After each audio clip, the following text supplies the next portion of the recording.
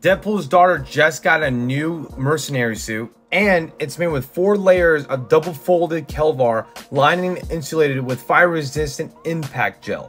Then Death Grip, I guess, just killed Wade. This fucker is dead, like legit. This is Deadpool issue 6 that just dropped this week, and I am loving this mercenary team of Princess, Taskmaster, Deadpool's daughter, and Deadpool. After the situation with Death Grip and how Wade is not healing at all, and he's in a damn wheelchair, they have to figure out like a money problem. They got to do more mercenary shit. But since Deadpool cannot do it, he's going to be like the ops leader while his daughter, Princess and Taskmaster will be following out their plans. He's got a gift for his daughter right down there. My very own suit, and that looks badass too. Heh, not too shabby, kid.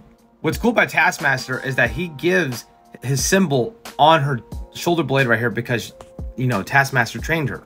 This is when we figure out what is made out of the whole suit of the four layer Kevlar and it has fire resistant impact gel, which is pretty cool. Now these Russian Spetsnaz like ops right here is their first job where Wade says, hey, we gotta steal this briefcase and we could possibly sell it what's in there for money. We see Ellie, Princess, and Taskmaster doing their first mercenary job as a team of three. Taskmaster tells Ellie, go ahead, kid. We see movement down there. This is about to be so easy. Shoot him, boys. Boom. Princess blocks him.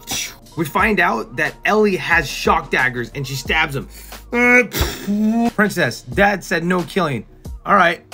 Oh God, my leg. This is when the mercenary, the main guy, pulls out this big ass launcher gun, shoots it. boom. It cuts Princess's arm off, but of course, you know, Princess can heal because it is a symbiote. Eventually, Ellie and Princess take them all out. Great job, girls totally knew you had it in you. Wade right here is actually really impressed that his daughter can actually do this with basically almost no training. While Wade is chilling at back at home, right, we see Death Grip show up. I'm like, what? He grabs Wade.